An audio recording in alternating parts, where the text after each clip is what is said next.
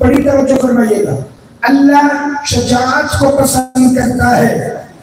चाहे उसका मुजाहिरा फलाओ अला कतल हैया एक सांप के मारने से ही क्यों ना हो?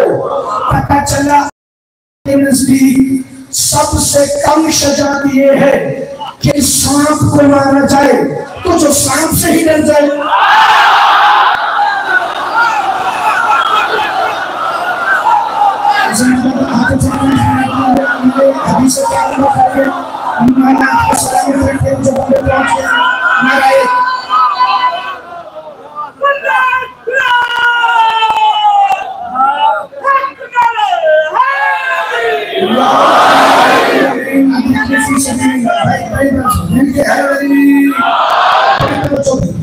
मुझे भी बड़े पसंद है, लेकिन थोड़ी सी बात आगे चले तो फिर आप मुसलसल भरे नारे लगाते रहे तो मैं आराम से पानी पी लूँगा बिस्मिल्लाहिर्रहमानिर्रहीम, अल्लाह के रसूल फरमाए शजात सिर्फ़ बंदों को नहीं, उसे भी पसंद है।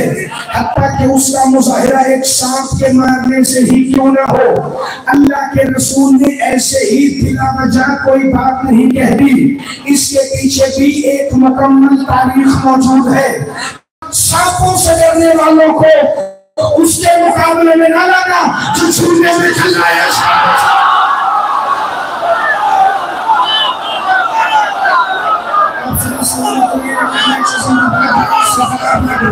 इनके सारे सखी सवाल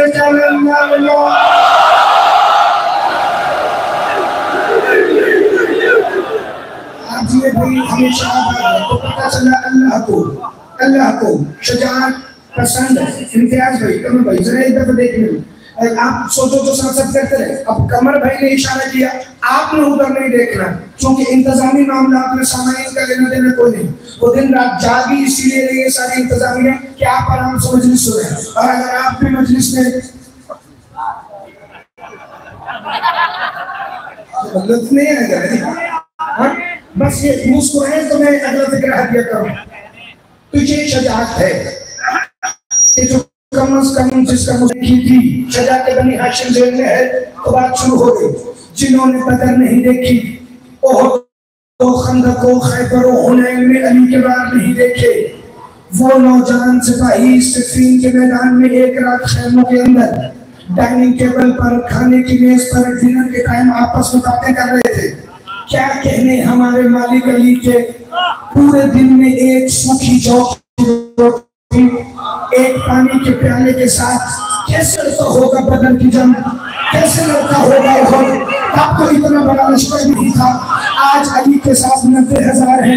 बदर में तीन सौ तेरह थे, और सिर्फ़ एक हज़ार थे। तो अली कैसे लड़ता होगा बदर उहद खंदक खैबर जैसी लड़ाइयाँ।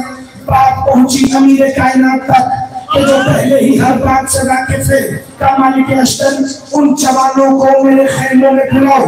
जवान खैमे में आए, जी या अली, तुम कल रात बातें कर रहे थे कि मैं एक सूखी जौ की रोटी पानी के प्याले के साथ खाकर पकड़ो हो कैसे लड़ता रहा। सुनो अली के शेरों, अली अबू तालिब का बेटा इतना सजा है, इतना बहादुर है कि अगर मैं अपनी सजावट की एक तजल्ली पूरी दुनिया पे डाल दूँ तो सारे ही बहादुर हो जाए।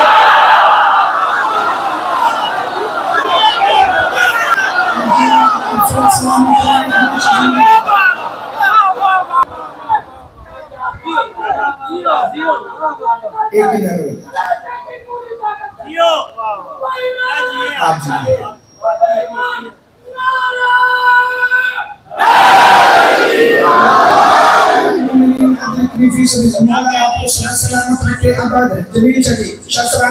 जितने सैयद बैठे अगर दुआ करें बाकी सदी तो फिर मैं फ़िक्र कहूँ एक बंदे ने अल्लाह के रसूल से पूछा था या रसूल अल्लाह कोई बुज़ुर्ग होता है कोई बहादुर होता है क्या ऐसा नहीं हो सकता था कि सब बहादुर ने फरमाया तुम कितने नादान हो। ऐसा एक ही सूरत में मुमकिन था, अगर सब अबू के बेटे होते।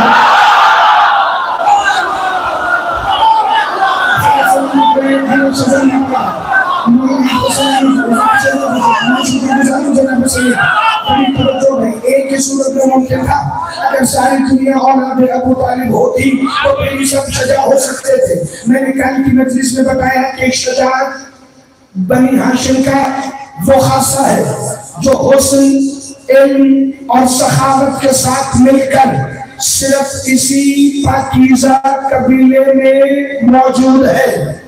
लोगों ने जनाब हाशिम से लेकर अमीर कायनात का शब हिजरत, अबू चहल की गर्दन मोड़ देने तक हर मुजाहरा देखा, लेकिन शजाते बनी हाशिम हकीकत में लोगों पे तब खुली। जब अली ने तलवार के कब्जे में वो कलाई दी कि जिसकी हल्की सी चुंबिश भी तो पता पड़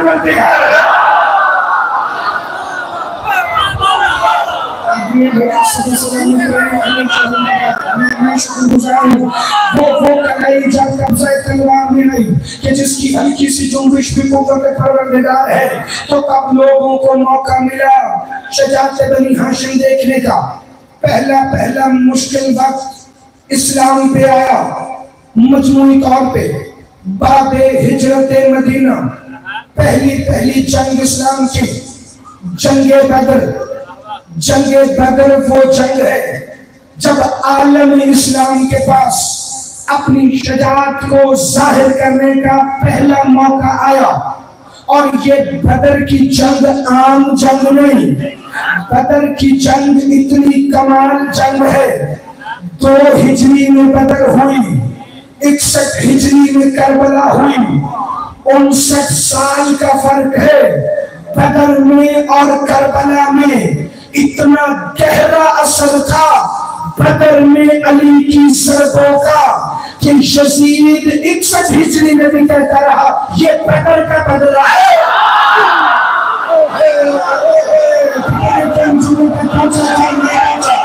इतना गहरा असर था बदर में फरहम शाह अली मौला की सरबों का और खुद अमीर कायनात को गुलफान भाई, अपनी ये जंग इतनी पसंद थी कि अली मौला फरमाते थे, अगर मेरा अंदाजे किताल पूछना हो तो बदर के मकदूलों को कदरों से उठाओ।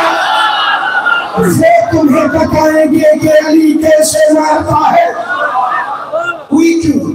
बदर की जंग कुरान ने तीन जगह बदर की जंग बयान की। सूरह आल इमरान में। आयत नंबर 121 से 136 तक। जाके पढ़िएगा, आपको लुत्फ और ज़्यादा आएगा, मैं तर्जुमा पेश करता जाऊँगा। फिर सूरह अनफाल की तीन आयतों में, फिर सूरह हज की दो आयतों में, मकसद जंग बदर क्या था?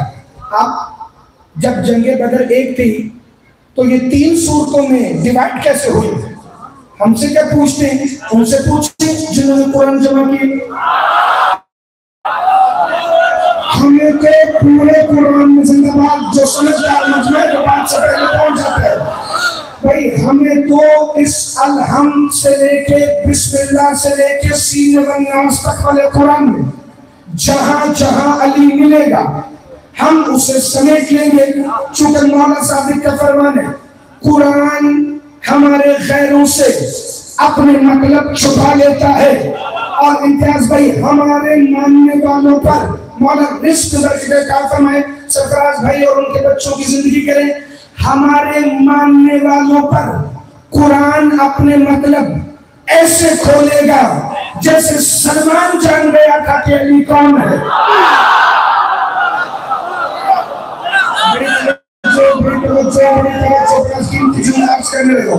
तो हुआ क्या? हज की उन्नीसवीं आयत में अल्लाह ने जंगे बदर का मकसद वाजे की सत्रह रमज़ान, दो हिजरी, जंगे बदर। अब ये तो गुलफान भाई आपको बता देंगे कि इन आदात में क्या क्या राज है कि सत्रह रमज़ान थी, दो हिजरी थी, सत्रह और दो भी उन्नीस है। हाँ? बड़ी तवज्जो बड़ी तवज्जो। ये हुआ क्या? और सूरह हज, जिसके अंदर ये आयत आई उन्नीसवीं जंगे बदर का मकसद। आयत का नंबर भी उन्नीस है। नौ और एक, दस दस का हासिल, एक एक ज़ाहिर है तोहीद का। यही मकसद कुरान ने बताया हाजान खसमान खसमू ये जंग रब के लिए हुई है। ये जंग तोहीद के लिए हुई है। ये जंग तोहीद के लिए हुई। हाजान खसमान खसमू फ़ी रब्बिहिम। दो किलो लड़े। रब के बारे में। एक हज़ार का लश्कर मुशरिकों का, अबू जहल कंपनी की क्यादत में यहाँ से तीन सौ तेरह, जिनके सालार का नाम मोहम्मद मुस्तफ़ा, जंग बातिल की, तोहीद और शिर की। रब के बारे में झगड़ा, ये कहते थे एक है, वो कहते थे तीन सौ सात है। ये वजह हुई जंगे बदल थी। लेकिन बदर के वक्त मिलके हैदरी बदर के वक्त। तारीख में लिखा है। इस्लामियात की किताबों में आप बचपन से पढ़ते हैं। मैं कोर्स की किताबों का हवाला इसलिए देता हूँ, क्योंकि जो प्राइमरी मिडिल मैट्रिक पास भी हो, वो भी जेन पे ज़ोर डालेगा तो उसे पता चलेगा कि ये बातें हमने स्कूल में पढ़ी हुई हैं। बड़ी गुर्बत थी इस्लाम तक हिजरत की थकावटें अभी उतरी नहीं। नबी ने सहाबा को का जंग करनी है। अबू जहल लश्कर लेके आ रहा है। या रसूल अल्लाह अभी थके हुए। हैं लड़ने का दिल नहीं करता कभी मजबूर नहीं करता। अपनी मर्ज़ी से जितने आना चाहो, सिर्फ़ तीन सौ तेरह थे नहीं, लड़ने तीन सौ तेरह आए। जो नहीं आए, उन रसूल नहीं लाए इन तीन सौ तेरह की भी हालत क्या? तारीख इस्लाम में लिखा है, गिनती की चार तलवारें, दो घोड़े, आठ ऊँट, बाकी पैदल। हाथों में खजूरों की टहनिया, मगर वाला बुलंद। शाहनामा इस्लाम में हफीज जलंधरी ने लिखा और ने कहा, ये लश्कर सारी दुनिया से अनोखा था निराला था। हफीज जलंधरी क्यों हूँ? इनके पास तो सामान्य हर भी पूरा नहीं। दो तलवारें हैं, चार घोड़े हैं, आठ ऊँट हैं, बाकी खजूरों की टहनियाँ पकड़ के लबैक क्या रसूल अल्लाह कह के आ रहे हैं? वजह क्या है? कहता है कि लश्कर सारी दुनिया से अनोखा खाने वाला था कि इस लश्कर का अफसर आपका लिया वाला था। मुसलमान, जब अल्लाह के रसूल खुश हो हुसैन की मजलिस में वो एक दफ़ा जरा सार उठाए ये लश्कर सारी दुनिया से अनोखा था निराला था कि इस लश्कर का अफसर आप काली कमली वाला था ये पहला जैश था दुनिया में अफवाज इलाही का जिन्हें ऐलान करना था खुदा की बादशाही का अगले को मिसरी हफीज जलंधरी शाहनामा इस्लाम में कमाल में तो ये लश्कर पूरी दुनिया से अनोखा था, निराला था कि इस लश्कर का अफसर आप काली कमली वाला था, ये पहला जैश था दुनिया में, अफवाज इलाही का, जिन्हें ऐलान करना था, खुदा की बादशाही का, न पे हो पीर पे तकिया, न नेजे पर, न भाले पर, भरोसा था इन्हें सादा सिकाली कमली वाला। जिम्मेदार उनसे कैसे आवाज़ बोलते हैं भाई मैं फ़िक्र कर लो और अगर आप खड़े हैं तो फ़िक्र नहीं आएगा और बेटा लड़की हो देर पे तकिया नमे से पर न पर भरोसा खाई में सादा सी काली कमली वाले था तीन सौ तेरह को मोहम्मद पे भरोसा था मोहम्मद को अपने भाई अली पे भरोसा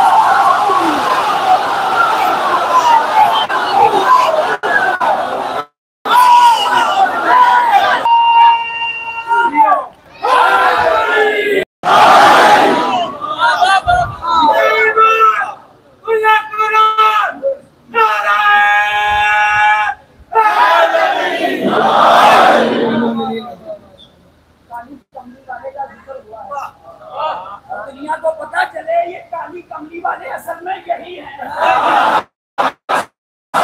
काली कमली वाले असल में यही है और हम ही हैं असल में काली कमली वाले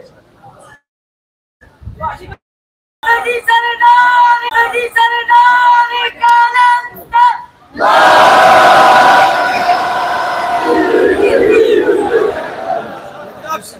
रसालत बयान होगी मैं क्या किसी की बात नहीं है ना, मैं ही आ जाऊँगा? मौला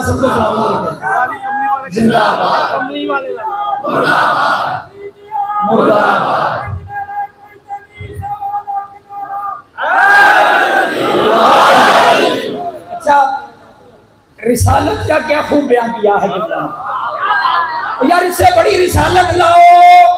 बनेरे को चिड़ी उड़ाना रिसालत नहीं होगा। बकरियाँ को चारा पाना रसालत नहीं होता। और रसालत पढ़नी सीखो तो शिया में मिलकर पे हो नारे का जवाब दीजिएगा और बताइएगा कि रसूल वाले बैठे हैं। और रसूल वाला ही असल में हुसैन।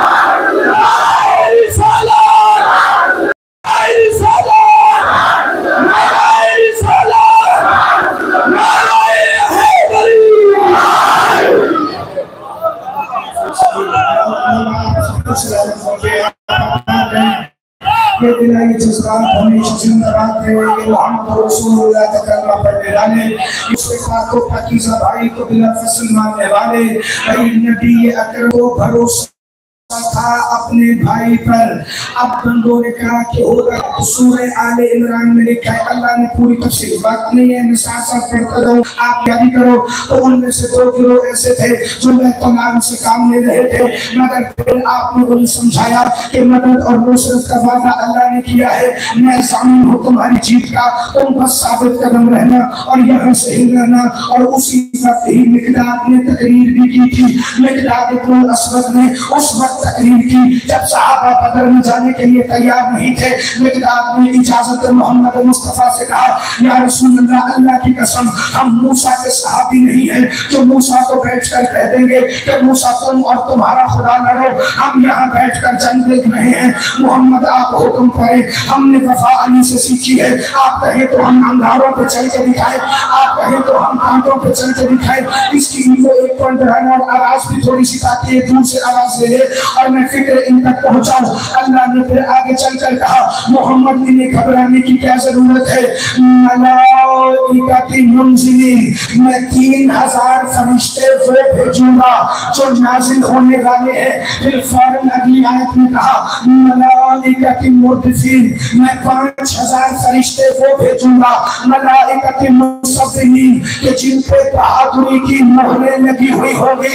लेकिन गुलफान भाई, अल्लाह ने सूरह अंफाल में तो कमाल ही कर दिया और सूरह अंफाल में कहा बिस्मिल्लाहिर्रहमानिर्रहीम इस्तस्तगीसून रब्बकुम फस्तजाब लकुम इन्नी मुनितुकुम बिअल्फिन मिनल मलाइकति मुर्दिफीन याद करो, जब तुम काँप काँप के इस तरह से कर रहे थे कि हम खौफ सदा है तो उस वक्त मैंने एक हज़ार फरिश्ते वो भेजे, मलाइकति मुर्दिफीन जो एक के बाद एक आने वाले। जो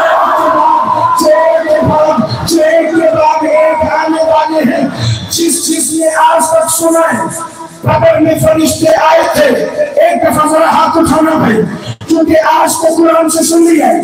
पहले अल्लाह ने कहा, तीन हज़ार आए, फिर कहा, पाँच हज़ार आए, फिर कहा, एक हज़ार आए। चलो, कुल मिला के हो गए नौ हज़ार। नौ हज़ार फरिश्ते भी आए। मगर जरा तारीख से पूछो, आए या लड़े भी?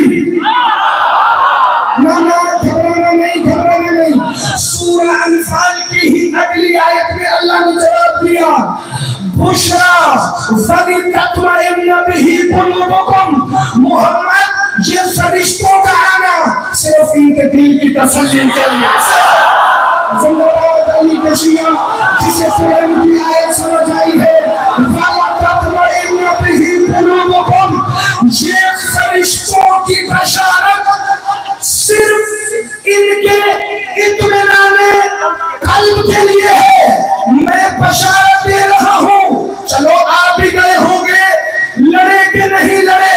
पहले मुसलमानों से सवाल कर ले। बदर में सत्तर काफिर मरे। आपने एक ही इस्लामिया में लिखा है, सत्तर में से चालीस अली में मारे। एक बीस हमसार में मारे। रसूल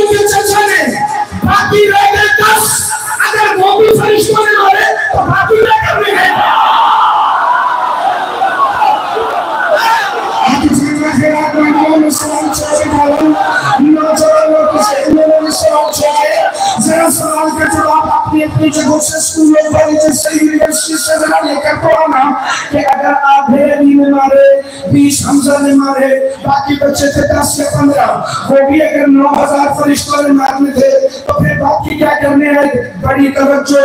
अल्लाह ने कुरान में फरमाया, ये फरिश्तों का आना में सिर्फ़ ही ये इनके दिलों के इत्मीनान के लिए है और न मोहम्मद इनसे कह दो हकीकी मदद तो अल्लाह ही करता है हकीकी मदद तो अल्लाह ही की तरफ़ से है फरिश्ते आए लड़े या नहीं लड़े मगर इतना ज़रूर हुआ शजात बनी हाशिम से हिंद रखना जंग का आगाज़ होने वाला था मुस्तफ़ा ने लश्कर की तरतीब दी मैमना मैसरा कल्ब लश्कर जैश तारीख में लिखा है अली मौला को काले रंग का अलम दिया जिसका नाम उकाब था आप पता चला काला झंडा शिया कहाँ से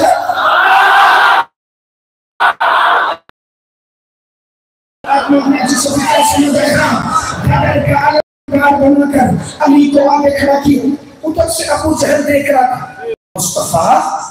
अब्दुल्ला का जतीन इसको कैसे पता चला कि जंग की तरकीबें क्या है? मैं मना कहा, मैं सरा कहा कल्ब कहा, अलम बरदार कहा, मुकदमा तुम जैश कहा, वहाँ से अबू जहल ने सवाल किया, मोहम्मद ने कहा, भूल गया, मुझे अबू तालिब ने डाला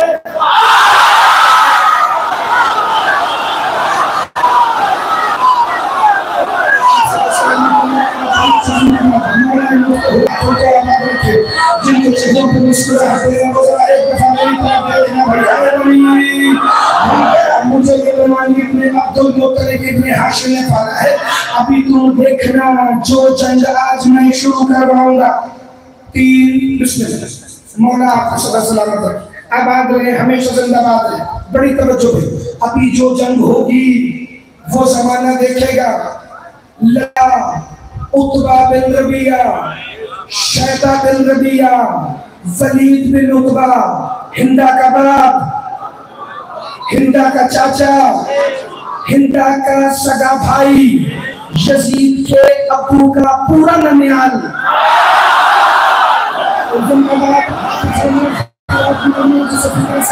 हाँ, हाँ, हाँ, हाँ, अगर दिल बड़ा करो तो फिर मैं अपनी फ़िक्र पढ़ो ये तीनों आए इन्होंने आके कहा हल मिन मुबारिस उतबा बिन रबिया शैबा बिन रबिया वलीद बिन उतबा तीनों पर अल्लाह की लानत उन्होंने सामने आके कहा है तू जुदन करे वहाँ से गर्म खून नए नए मुसलमान, तलवारें लेके बाहर आए उधर से उतबा बिन रबिया ने हिंदा के बाप ने आवाज़ दी तुम कौन हो?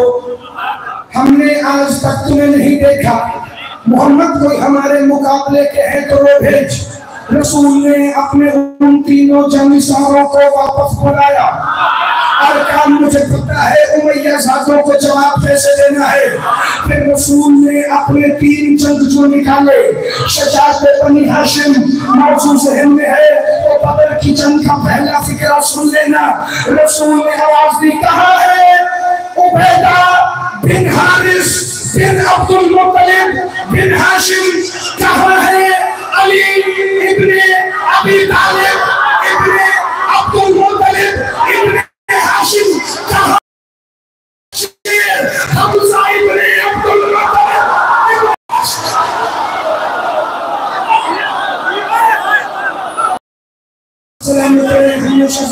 अल्लाह की कसम जिनके बेटों के नाम ही वो नाम है, जिनके नाम तिलावत करने से ही बंदा खुद को बहादुर महसूस करने लग जाता है। उबैदा बिन हारिस रसूल अल्लाह के चचा के बेटे, लेकिन बदर के लश्कर में सबसे बुज़ुर्ग यही थे, चूँकि जनाब अब्दुल मुत्तलिब के सबसे बड़े बेटे, हारिस के ये सबसे बड़े बेटे हैं उबैदा बिन हारिस बिन अब्दुल मुत्तलिब बिन हाशिम।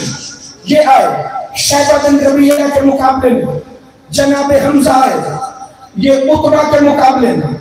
और मौला अली सामने आए, वलीद बिन उतबा के।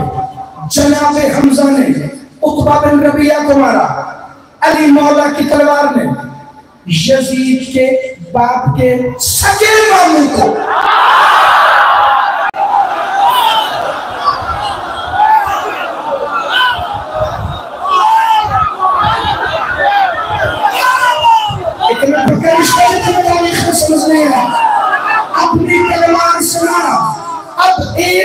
वन लड़ाई रह गई।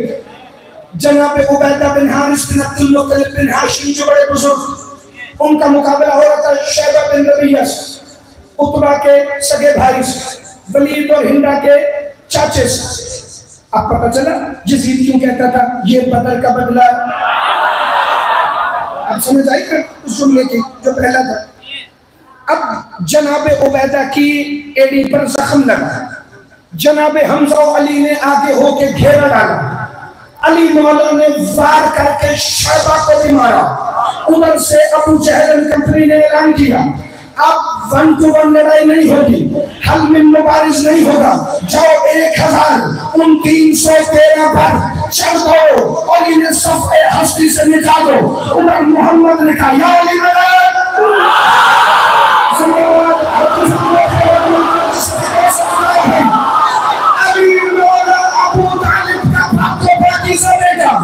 अपनी तलवार लेके एक हज़ार काफिरों में चला गया। तारीख कहती है अली तीन दफ़ा खून में डूबी हुई तलवार लेकर मोहम्मद के सामने आए और सलाम करके चले गए। किसी ने पूछा, ये बार बार जंग छोड़कर मोहम्मद को क्यों देखने आते हो? तो मेरे भाई की इत्मीनान वाली मुस्कुराहट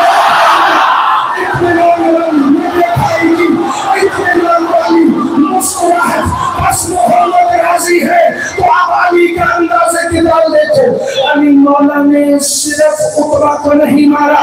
अली मौला ने सिर्फ़ खलीद को नहीं मारा, सिर्फ़ शहबा को नहीं मारा। अली मौला लड़ते जाते थे।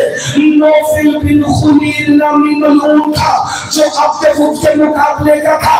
एक हज़ार बंदों से अकेला लड़ने वाला था।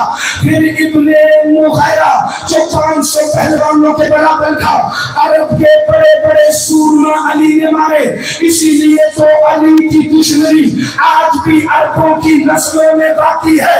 क्योंकि कोई कबीला ऐसा नहीं था, जहाँ अली की तलवार में नब्दुल न भेजे हो। इब्ने मुहैरा को अली ने मारा, इब्ने लैस को अली ने मारा, इब्ने हरीस को अली ने मारा, इब्ने आस को अली ने मारा। लेकिन बदर के मैदान में एक मलौन ऐसा था, जिसका नाम था आस। बिन उमैया, ये नाम ना भूलना। ये पहला गुस्ताख रसूल है, मक्के का। आस बिन उमैया, ये है क्या करता था? जब बच्चे मोहम्मद को पत्थर मारते थे, ये मलमून पास खड़ा होके तालियाँ बजाता था। जो ही रसूल ने बदर में आस बिन उमैया को देखा आस्तीन में उलझकर मोहम्मद ने हाथ उठाए, अल्लाह, मेरा दिल है, ये तेरे हाथ से मरेंगे।